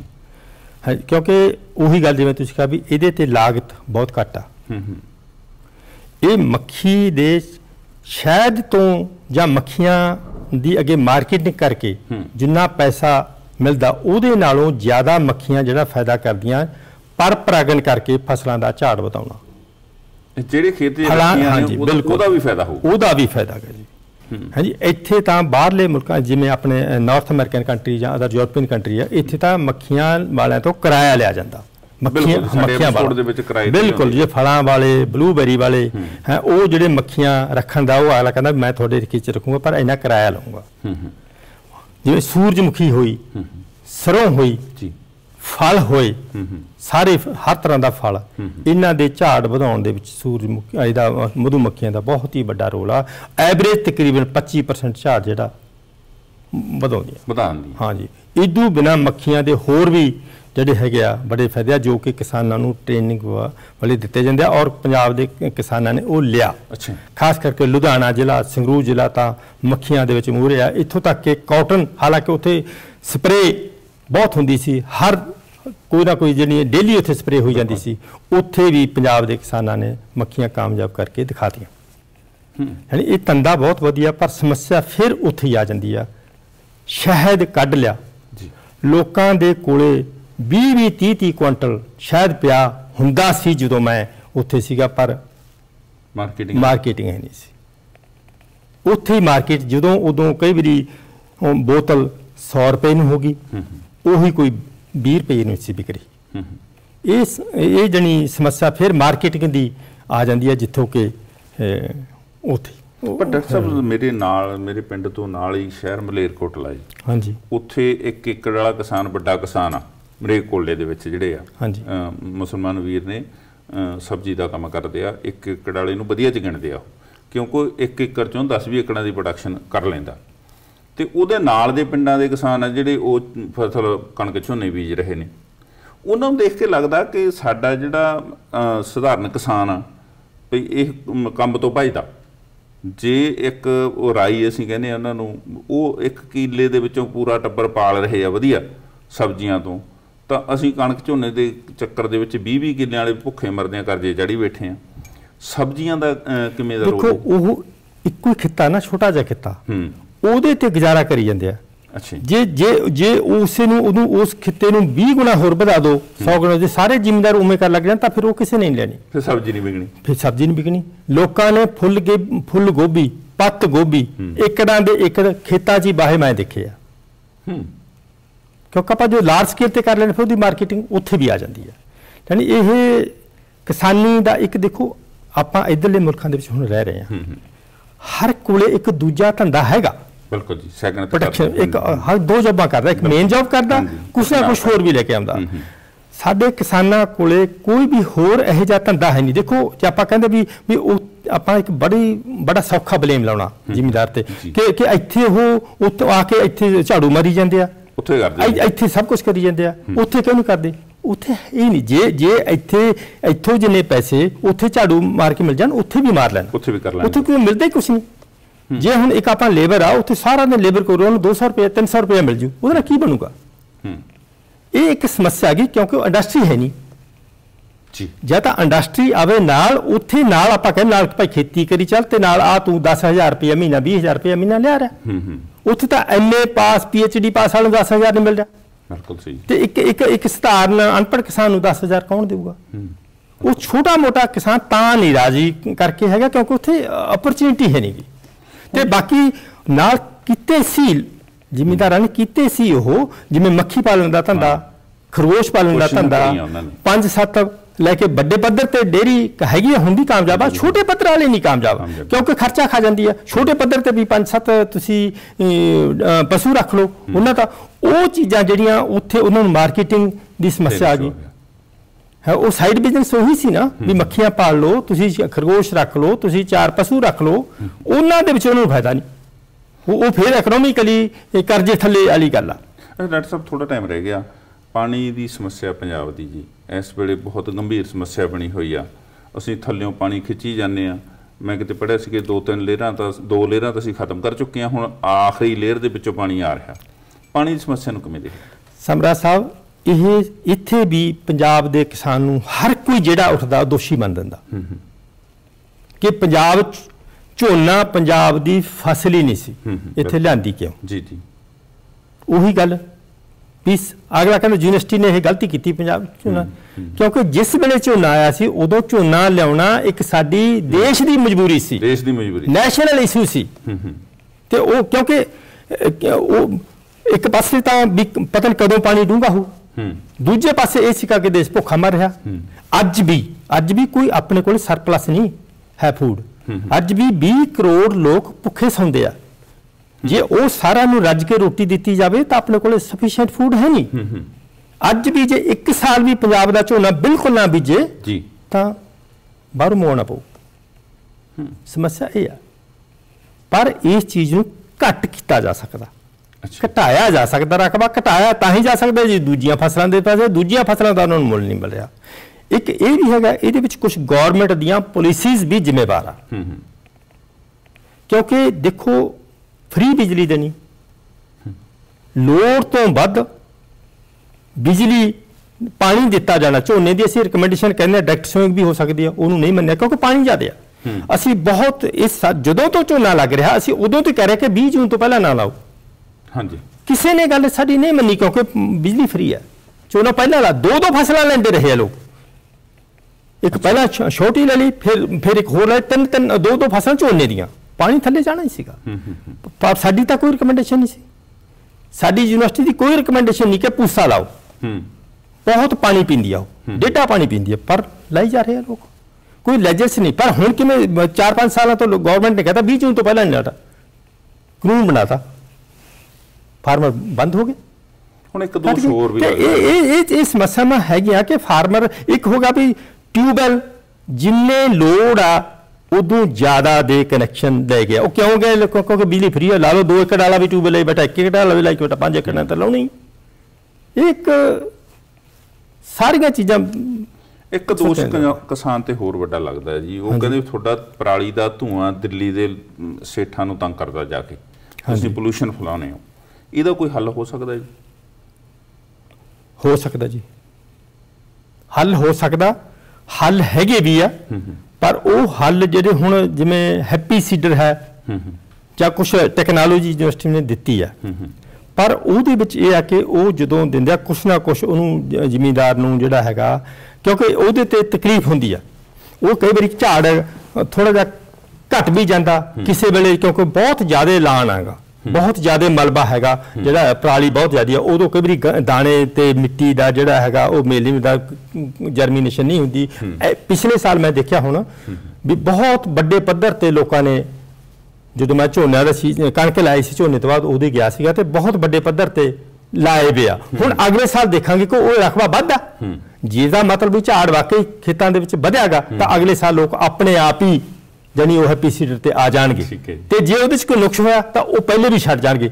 ਮੇਰਾ ਇਰਾਦਾ ਕਿ ਅਗਲੇ ਸਾਲ ਮੈਂ ਫਿਰ ਉਹਨਾਂ ਖੇਤਾਂ ਦੇ ਵਿੱਚ ਹੀ ਕੋਈ ਮੈਂ ਕੋਈ 20 30 ਪਿੰਡਾਂ ਦੇ ਵਿੱਚ ਗਿਆ ਸੀ ਜਿੱਥੇ ਇਹ ਐਕਸਪੈਰੀਮੈਂਟ ਹੋਏ ਵੇ ਸੀ। ਜੇ ਤਾਂ ਉਹਨਾਂ ਨੇ ਫਿਰ ਲਾਗੂ ਰੱਖ ਲਏ ਫਿਰ ਤਾਂ ਇਹਦਾ ਮਤਲਬ ਕਾਮਯਾਬ ਨਹੀਂ। ਨਹੀਂ ਤੇ ਬਾਕੀ ਸਿਰੇ ਗਵਰਨਮੈਂਟ ਨੇ ਬੜਾ ਟੈਕਨੋਲੋਜੀ ਹੈਗੀ ਆ ਪਰ ਉਹ ਜਿਹੜੇ ਸੰਦ ਹੈ ਉਹ ਮਹਿੰਗੇ ਬਹੁਤ ਆ ਗਏ ਡਾਕਟਰ ਸਾਹਿਬ, ਤੁਸੀਂ ਆਏ ਜੀ, ਇੰਨੀਆਂ ਪਿਆਰੀਆਂ ਗੱਲਾਂ, ਇੰਨੀ ਵਧੀਆ ਜਾਣਕਾਰੀ ਸਾਡੇ ਦਰਸ਼ਕਾਂ ਨੇ ਸਾਂਝੀ ਕੀਤੀ। ਆਪ ਜੀ ਦਾ ਬਹੁਤ ਬਹੁਤ ਧੰਨਵਾਦ ਜੀ। ਸੋ ਅੱਜ ਦੇ ਪ੍ਰੋਗਰਾਮ ਵਿੱਚ ਹੀ। ਨਹੀਂ ਅਗਲੇ ਹਫ਼ਤੇ ਇੱਕ ਵੱਖਰਾ ਪ੍ਰੋਗਰਾਮ ਲੈ ਕੇ ਆਪ ਜੀ ਨਾਲ ਸਾਂਝ ਪਾਵਾਂਗੇ। ਤਦ ਤੱਕ ਤੁਸੀਂ ਦੇਖ ਰਹੇ ਹੋ ਪ੍ਰਾਈਮ ਏਸ਼ੀਆ ਟੀਵੀ ਤੁਹਾਡਾ ਆਪਣਾ, ਤੁਹਾਡੇ ਲਈ। ਸਤਿ ਸ੍ਰੀ ਅਕਾਲ।